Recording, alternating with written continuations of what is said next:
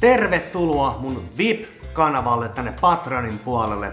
Täällä meiltä löytyy kaikenlaista erilaista materiaalia, muun muassa treeniohjelmia, ruokavaliota, behind the scenes YouTube-materiaaleja, Mellun luomaa spirituaalikoulua, mun omia psykedeelipäiväkirjoja mun psykedeellisistä kokemuksista. Mun omista treeneistä löytyy erilaisia videomateriaaleja, sekä ennen kaikkea näitä VIP-live-lähetyksiä, joissa pidetään erittäin hauskaa, joten meillä on täällä Patreonin puolella erittäin hyvä yhteisenkin, joten tervetuloa. Mulla on iso kurpa. Nyt mä valmistan cannabis brownies ja Mulla oli etuolkapa ja rintalias jopa vähän kiinnittynyt yhteen. Alivaska-kokemukset eivät välttämättä ole millään tapaa mielekkäitä. Ne voi olla tosi haastavia ja intensiivisiä.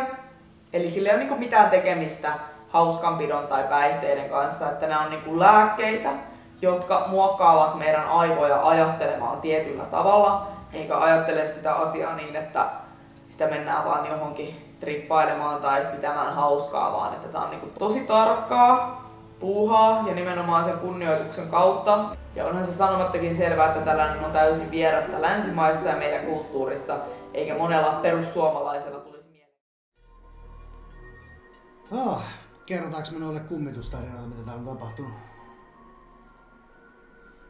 Öö, joo.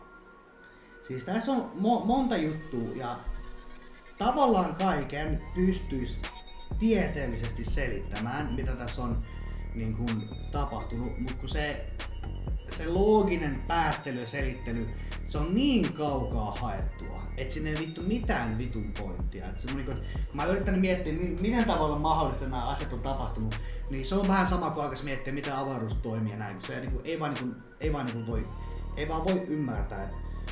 Tässä on tosi monta pientä juttua. Esimerkiksi yksi päivä, ää, tää nyt ei tavallaan yliluonnollinen juttu niin, mutta mä yhtäkkiä aloin vähän hallusinoimaan. Mä olin tuossa toisessa keittiössä, mä olin näköistä nähdä sellaisia oransseja palloja vaan. Mä vaan huusin meillä, nyt tuu nyt tapahtuu jotain.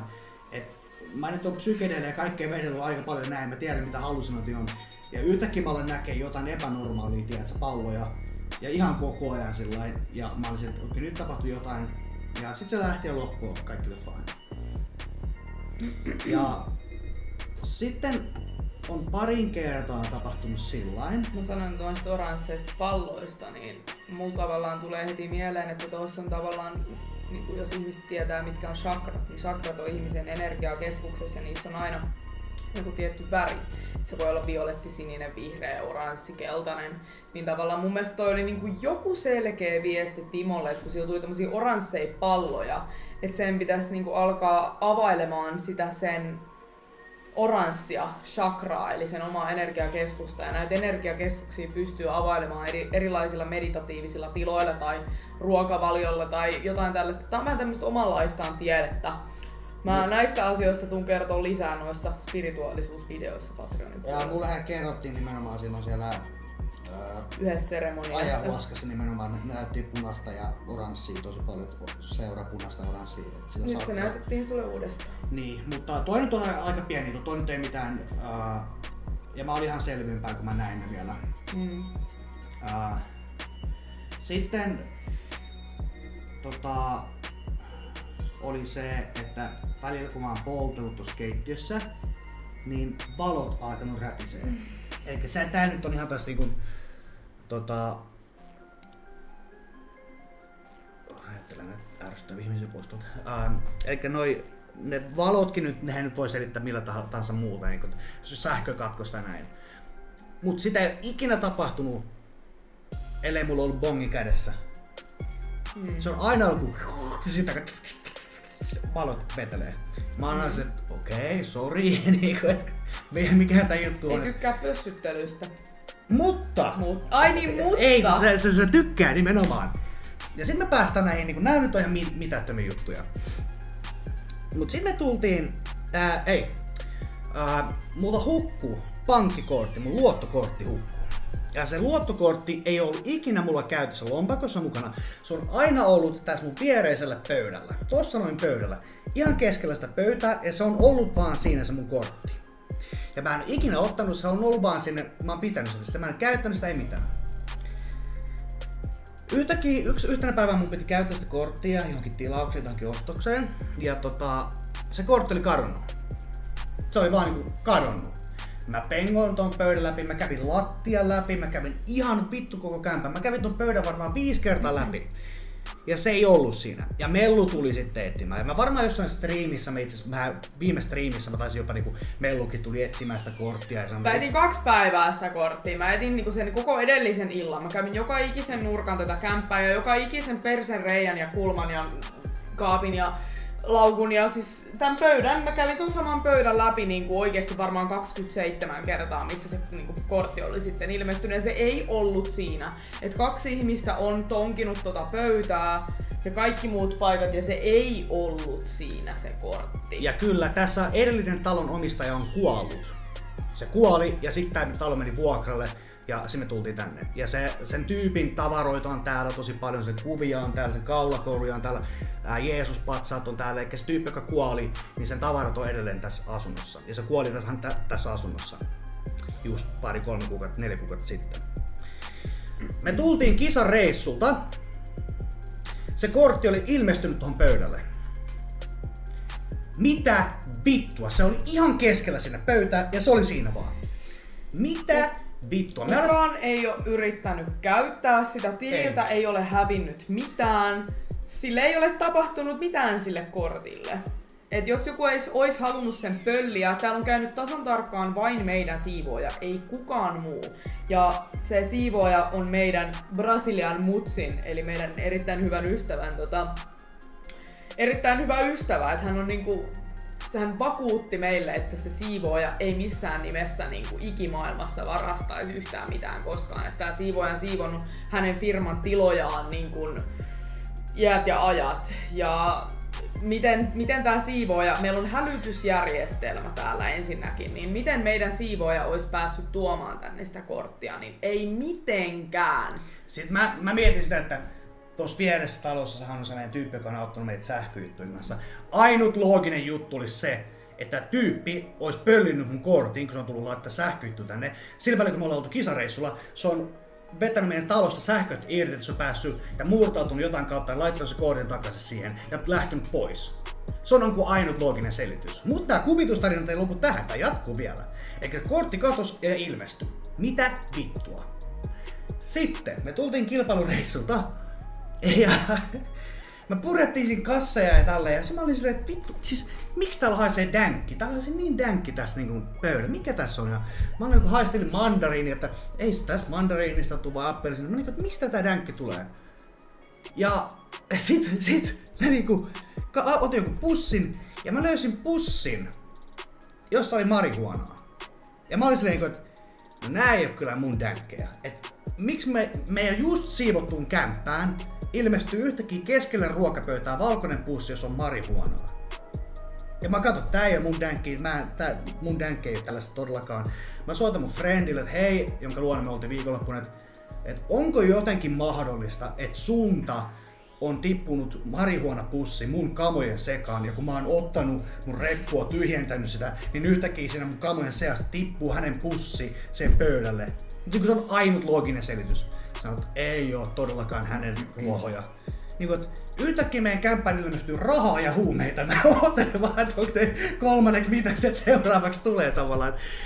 Niin kuin, siis ja tota mä itse asiassa just äsken mietin, että jos joku pöllii meidän pankkikortin, niin minkä helvetin takia se murtautuisi meidän kämppään ja palauttaisi sen. Et ja minkä, minkä takia... takia se ei pitäisi vaan sitä korttia ja suksis vittuun. Ja minkä takia Et se jättää niinku... dänkkiä sen pöydälle. Niinku... Ja vielä niin paska dänkki, se näkee, että mulla on paljon parempaa dänkkiä täällä. Mik, mitä mä saan sen paskalla tehdä? Mä heitin sen roskiin sen paskan. Ja sit toi, että just, että minkä takia meidän asuntoon tulisi joku. Niinku, minkä takia se tulisi tänne asuntoon varastamatta mitään. Niinku, miksi? Et niinku, ei tossa ole mitään järkeä, että joku vaan tulee tänne, eikä täällä ollut mitään merkkejä, että kukaan olisi koskenut mihinkään meidän tavaroihin tai mikään tavara olisi niinku pois paikaltaan.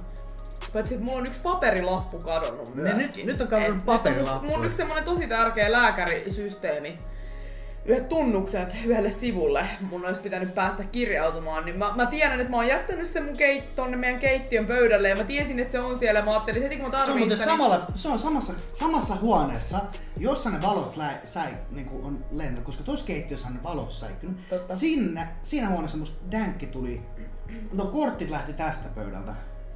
Joo, ja itse asiassa mä sanoin yksi päivä, tota, kun me kuultiin, että tämä asunnon omistaja on kuollut, niin tota, mä sanoin mun ystävälle tota puhelimessa siinä päivänä, kun mä kuulin, että se kuoli tai on kuollut tähän asuntoon, niin mä sanoin, että mun tekisi mieli niin kuin, ottaa siihen jollain tapaa kontaktia ja tota, kysyä sieltä, että mihin se on oikein kuollut. Niin samana iltana niin Timon puhelin oli täällä striimihuoneessa ja me oltiin tuolla Olkkarissa katsomassa telkkaria, ja meillä on semmonen iso kaiutin siellä, niin yhtäkkiä se kaiutin menee kaksi kertaa päälle, sille Timon Spotify menee päälle, ja se musiikki alkaa täältä, t- niinku täällä oleva puhelin, niin soimaan tuolla Olkkarissa, ja mä mitä? Timo menee sammuttamaan sen, ja Timo tulee ilman puhelinta tonne huoneeseen, ja se lähtee se Spotify uudestaan päälle. Niin ja samana iltana mä sanoin mun ystävälle, että mun tekisi mieli ottaa jollain tapaa yhteyttä tähän niin kuin talon henkeen, mitä se yrittää kertoa meille. Niin tota, tämmönenkin story on käynyt. Joku sanoo muuttukaa pois, mutta kun ei tää, tää on toistaiseksi vaan, niin me ollaan saatu vasta niinku rahaa ja huumeita. Että kyllä tää on hyvä. Ei, ei, siis eihän, hengethän ei ole oikeasti niin kuin pelottava asia. Että ihmiset pelkää henkiä sen takia, koska ne eivät niin kuin, heidän käsityskykynsä ei pysty ymmärtämään sitä maailmaa. Ja se, mikä on niin kuin tavallaan ihan lohdullista, niin pahat hengethän eivät pysty vahingoittamaan ihmistä, ellei sä niin kuin tee jotain lautajuttuja ja siitä sitten niinku tavallaan joku riivaa sut tai jotain vastaavaa, niin tota, tota, tota, siihenkin on niinku erilaisia keinoja, että miten semmosia saa pois, mutta niinku tavallaan jos et sä niinku ärsytä niitä, etkä ota niihin sellaista niinku, et, et ota niihin yhteyttä, niin silloin suhun ei niinku pysty kyllä mitään pahaa tapahtumaan. Et siihen, siihen liittyy niin paljon asioita, että sun pitää puhdistaa tätä tilaa ja meidänkin pitäisi niinku tehdä semmoinen energiapuhdistus tähän asuntoon. Ja sitten tavallaan niinku, ei ole tapahtunut mitään sellaista vielä ainakaan, että mistä niinku me pystyttäisiin tekemään sellaisia johtopäätöksiä, että ne olisi pahoja henkiä. Mm. Että jotain niinku, tavallaan ne haluaa meille kyllä niinku, kertoa koko ajan, mutta meille ei ole tapahtunut mitään pahaa. Niin tota, mä jotenkin jaksa uskoa sitä, että koska me ollaan kuitenkin niinku Timon kanssa hyviä ihmisiä, eikä me tehdä täällä oikeasti mitään niinku tavallaan väärää tai pahaa, niin ei, ei mua pelota olla täällä. Et Mua, mua vaan en, en, niinku kiinnostaa ehkä enemmän. Paitsi ne on uskovaisia. Ja me kyllä nussitaan täällä ilman valvioliittoa. Niin ja sitten sen nussimisen jälkeen oli ilmestynyt Niin. sitä dänkkiä tohon pöydälle. Ei kun se, se kortti ilmestyi sen jälkeen. Niin, eli siis niinku... Me vedettiin kunnon show sille, niin heti alkoi tippua rahaa. Se oli ihan hyvä suoritus, mä olen ihan ylpeä itsestäni. Niin. En täytyy varmaan aika vetää ihan avoimesti vaan tuossa keittiössä, missä ne valot säikkynyt. Vedetään se ihan vittu kunnon harvinaismeininki, niin katsotaan vittu mitä tapahtuu sitten. Niin se käy. OnlyFans. Joo. OnlyFansit tulille nyt sitten. Ja kyllä me, me mietittiin kyllä sitäkin, että me alettaisiin laittele ansoja tänne, niin kuin raha-ansoja. Me jätetään niin kuin käteistä X summia. Niin kuin johonkin vaan, että katsotaan vaan, että pöllik siivoja meidän rahoja tai jotain. Ei kaikki, kaikki niin kuin aletaan niin kuin, vähän niin kuin jättelee ansoja tänne. Mä en nyt en, en tiedä kuka tietää hengistä, mutta puhukaa tää henki suomeen, tuskin se varmaan ymmärtää sitä. Että... Ei, mut siis hengillähän on niinku tavallaan semmonen, onko se sana universaali kieli, että niinku sä tiedät itekin, kun sulle on seremonia, Niin, henki jep, oppaat puhunut, että ei se niin. ole mitään kieltä. Jep. Se on vaan niinku kommunikointia, mitä sä ymmärrät. Mutta ihmis, ihmisen mieli ei välttämättä pysty tämmöistä kommunikointia ymmärtämään, että nehän ei osata tulkita ja siksi se on tavallaan vähän niin kuin se ideakin, että ne vähän pelleilee meidän kanssa, kun ne tietää, että me ei ymmärretä ja me mennään sekaisin tällaisesta, mutta kun tavallaan tiedostaa tuommoisen asian, niin sitä ei, sitä ei niinku pelkää. Ja sit kun mullakin on siis itselläni on henkikokemuksia, niin jotenkin se on tosi Paitsi sä sanot, lohdullista. sä sanoit kyllä, että henget pysty satuttaa sua, mutta mulla on taas käynyt siellä Amerikassa, kun mä asun, niin siellähän meillä oli tota, vähän niin yliluonnollisia juttuja tapahtui, niin silloinhan se henki kyllä satutti mua öisin. Mä he- heräsin, heräsin semmosia pitkiä, pitkiä kynnen raapimisjälkeä läpi mun sel- selän. Niin kuin selästä, tuolta ha- lavasta tonne alaselkään. Ja en mä ikinä mitenkään pystyisi raapia sinne. Ne, ne ilmestyi aina öisin. Ja siellä, sielläkin talossa oli kuollut just ää, edellinen asukas, niin tota, No mutta tota, niin, no eihän siihen ole periaatteessa mitään yhtä, yhtä ja oikeita va, niinku ratkaisuakaan, mutta yleisesti ottaen ne eivät kyllä niinku pysty niinku, tai e- ei ainakaan niinku kukaan ole vielä tähän mennessä niinku pystynyt sitä todistamaan, että pystyisi niinku mitenkään hirveän suuresti ainakaan satuttamaan, että, että tota, tommosia jotain pikkujuttuja pystytään niinku ehkä todistaa, että toikin on aika tavallaan pieni juttu tommonen niinku pintaraapasu, että se ei välttämättä sieltä pintaa syvemmältä pysty ehkä sitten tai no vitusta, kun me sitä missään tiedetään. Niin Niin mä nää- jotenkin uskoisin, että se on niin, että ei, ei pysty. niin kun nämä on niin selittämättömiä juttuja. Tavallaan ei kaikki voi selittää tieteellisesti ja näin, Kyllä. mutta ne menee niin kaukaa haetulta. Ne on niin kaukaa haettu toi dänkki juttu ja noi, toi, kort, siis toi korttijuttu varsinkin, niin kuin, että se, se, siinä niin mulla vaan niinku, että ok. Se, se, se, sen, dänkin, mä, sen dänkin kohdalla mulla ei vielä niin mennyt yli. Mutta sitten kun se kortti oli, niin mä sanoin, että okei, okay, nyt, nyt riittää. Nyt, nyt, nyt mä en enää yritä edes ajatella, miten tää on tapahtunut. Koska se oli jo niinku, nyt, koska me niinku pengottiin tää pöytä. Ja se nyt on puolitoista kertaa, puolitoista metriä kertaa puolitoista metriä toi pöydän koko. Että se niinku, toi ei ole iso. Siinä on vittu viisi asiaa. Niin me ka- kaksi tuntia salattiin sitä ka- metrin pöytää läpi ja se ei löytynyt se kortti yhtäkkiä se ilmestyi ihan keskelle sitä pöytää. Niin kuin, mitä vittua, että... Et, tota, en tiedä, kyllä me varmaan joku istunto joudutaan tehdä täällä, että toisaalta hyvä voisi olla, että joku Dani tai joku olisi täällä, joka puhuu myös mahdollisesti sitä kieltä, jossa se, jota se vainaja puhui, että Kyllä. jos tulee jotain viestejä tai jotain sanoja tai jotain sieltä, mutta en tiedä. Katsotaan nyt vähän seuraalla, mitä täällä tapahtuu. Nämä on siis, tää, nämä jutut oli, milloin nämä tapahtui? Eilen toissapäivänä. Pari päivää sitten, että, että tota, live sit istunnossa. Tuommoisissa istunnoissa ei, ei usko, että voi oikein kameraa pitää, että kamerat, niinku henget ei tykkää kameroista. Mutta tota, siinä voi olla, että ne istuu, tai no miksei, katsotaan, katsotaan, kokeillaan, mietitään, ehkä suunnitellaan. Ehkä me eka ensimmäiseksi kokeillaan ja katsotaan että, ja kysytään mielipidettä kamerasta, että saako ottaa kameraa. Jos ne sanoo, että ei, niin sitten ei. Mä oon sekaisin kiva, kun, olla, kiva, kun ollaan yhtä sekaisin, niin kuin, että ei tarvi olla. Ja sit mun yksi hyvä ystävä on tulossa tänne, niin se on niin kuin vielä enemmän sekaisin kuin me kaikki yhteensä. Et se oli niin kuin heti, heti tota noin, ne, jos täällä olisi joku sala-asu, niin kyllä se aika nälissään joutuu olla hiljaa, koska me ollaan täällä talossa vuorokausia putkeen. Niin ei, täällä pysty, ei täällä kukaan voi liikkua. Minä täällä. olen kyllä ollut ihan täysin selvinpäin koko ajan. Mä oon ollut ihan pä- päihteettömänä tässä jo niin kuin melkein puoli vuotta ihan täysin, että ei ole kyllä mitään, mitään sekoilua tässä niin kuin omalta kohdaltani ainakaan. Että Timollekin on aika normaali tila se, että jos Timo smoukkailee, niin Timo on ehkä vaan enemmän niin kuin rauhallisempi, mutta ei Timo niin kuin trippaa tai sekoile täällä mitenkään millään tavalla. Että Timo on ihan normaali oma itsensä silloin, kun hän on myöskin smoukannut, että ei ole niinku...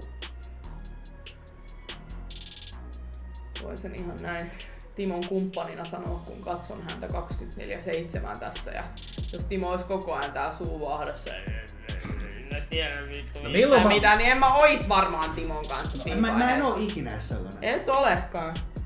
Et en mä, Et to, toikin mun mielestä niin jotenkin läppä, kun jengi koko ajan tiedät, tekee sit jonkun hirveen numero. Mä oot poltellut, Timo, Timo, silmät ihan punaisena. niin silleen, että niinku, dude. Et jos se on sulle tommonen kokemus, jos sille, siis se on todennäköisesti sille ihmiselle sellainen kokemus itselleen, jos hän on itse smokannut. Se on mun mielestä ärsyttävää joku jengi, jengi puhuu sitä kannabista, eikö se olisi vitu cool. Vähän niinku steroidissa, kun mm. joku kokeillut steroidia ekaa kertaa kannabista, sitten niinku jotenkin haluaa jopa leijua sillä aiheella tai se niinku, Mm-mm. tää on niin cool, vittu.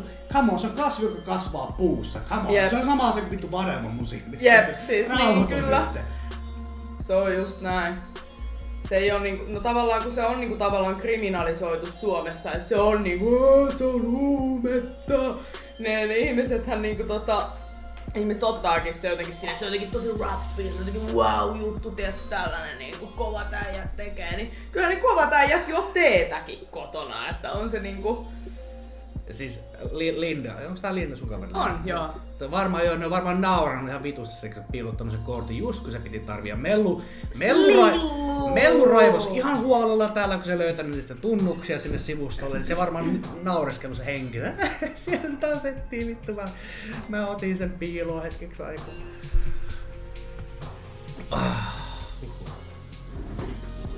Eilen kun mä tulin yksin kotiin, kun Timo oli salilla, niin tota, mä olin rannalla, niin tota, mä tulin kotiin. Ootte sitten nähnyt sen Paavo Pesusienin memen, kun se Paavo Pesusieni on semmonen ihme jännä ilme päällä, päällä niin kun tulee johonkin, että silleen... Niin, mulla, mulla oli semmonen ilme, kun mä tulin tänne kotiin yksin eilen. Mi- Eiköhän se ole lähinnä ihmisen mieli, joka alkaa trippaamaan, että mitä joku kuvitteellinen henki voisi...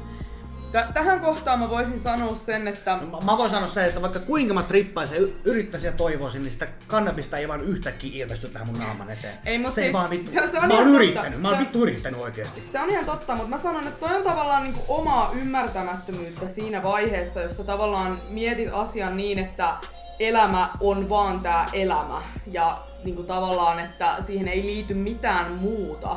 Että me vaan yhtäkkiä pamahdetaan tänne maailmaan itsestään ja meidän käsityskyky on vaan tämä ihmisen käsityskyky. Ja se, että kuoleman jälkeen ei muka tapahdu enää yhtään mitään, että niinku, että on vaan tämä meidän fyysinen ruumis. Niin se on niinku tavallaan sitten taas semmoista vähän omaa ajattelemattomuutta ja tietämättömyyttä se, että jos vaan ajattelee sen asian niin, että ei ole tavallaan mitään muuta kuin tämä niin kuin, fyysinen ruumis, niin se on sitten taas, että jos se on kuvitteellinen juttu, niin se on ehkä se on, niin kuin, se on tietämättömyyttä. Että jos ei ole minkäänlaisia spirituaalisia tai hengellisiä kokemuksia, mitkä on tapahtuneet ihan to- oikeasti, niin se on sitten vaan semmoisen ihmisen tietämättömyyttä, että mä suosittelen lukemaan kirjallisuutta ja katsomaan dokumentteja, mitä ihmisille on tapahtunut. Ja sitten tehdä niitä johtopäätöksiä sen mukaan, että, että tota, pitääkö sitä asiaa sitten totena omassa todellisuudessaan vai ajatteleeko sen sitten niin, että niin yksinkertaisesti tavallaan, että me ollaan vaan tämä fyysinen ruumis eikä ole mitään ihmisen elämäähän ei ole pystytty mitenkään tieteellisesti todistamaan ja siitä on paljon. Ihmisillä on ihan valtavasti kokemuksia siitä, että meidän sielu on irti meidän kehosta, jos esimerkiksi meidän aivotoiminta lakkaa, jos me vaikka kuollaan hetkellisesti. Niin siitä on, niin kuin, se ei ole pelkästään vaan niin kuin mun keksimä juttu, vaan mä oon niin kuin, kuullut ihmisiä, keille on tapahtunut näin ja sitten mä olen katsonut dokumentteja ja lukenut kirjallisuutta tästä aiheesta. Josta mä tiedän aika paljon, niin se on omaa suoraan sanottuna typeryyttä, jos ajattelee sen asian noin, että se on kuvitteellista. Mutta se ei tavallaan liity muuhun yhtään mitenkään, että jos joku ihminen haluaa näin yksinkertaisesti ajatella, niin se ei ole mun elämästä pois.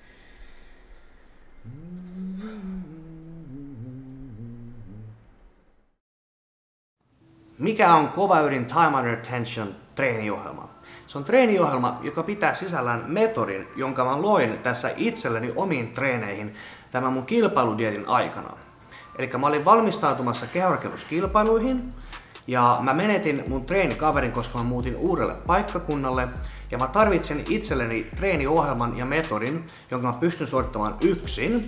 Sen ohjelman täytyy olla maksimaalisen intensiivinen sekä loukkaantumisriskit piti olla maksimaalisen vähäiset, koska mä en missään nimessä halunnut loukkaantua ja menettää sitä suurta työtä, mitä mä oon tehnyt näiden kilpailujen eteen. Time Under Tension metodi ei ole kuitenkaan mun oma luoma treenityyli. Se on monien eri lukuisten kehorakennusgurujen käyttämä metodi, jossa pyritään viettämään maksimaalinen määrä aikaa sen kuorman alla, jonka yhtälönä on sitten suurempi lihaskasvuärsyke.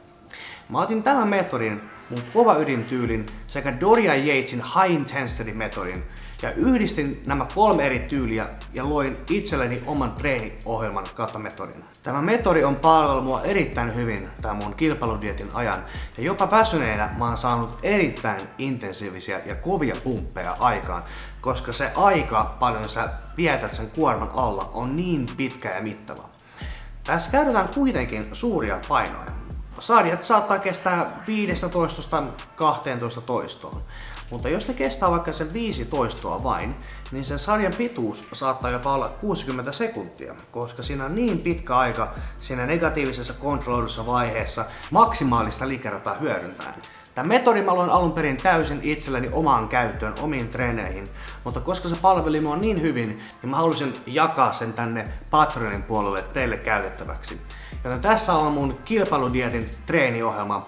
Tämä ohjelma pitää sisällään tietysti myös videoopastukset ja selosteet, miten mä nämä liikkeet suoritin. Ja kenelle tämä ohjelma sopii, niin käytännössä kaikille, joilla on noin kaksi vuotta treenitaustaa alla. Eli on jo pikkusen tehnyt sitä peruslihasmassaa, nostettu niitä voimatasoja ja tietää jonkin verran treenaamisesta. Eli hieman edistyneemmille kuntosaliharjoittelijoille. Pistä ihmeessä nämä treenit kokeiluun, tuut varmasti tykkäämään. Ota sieltä ne hyvät vinkit itsellesi omiin treeneihin vähintäänkin käyttöön ja tsemppiä sulle treeneihin.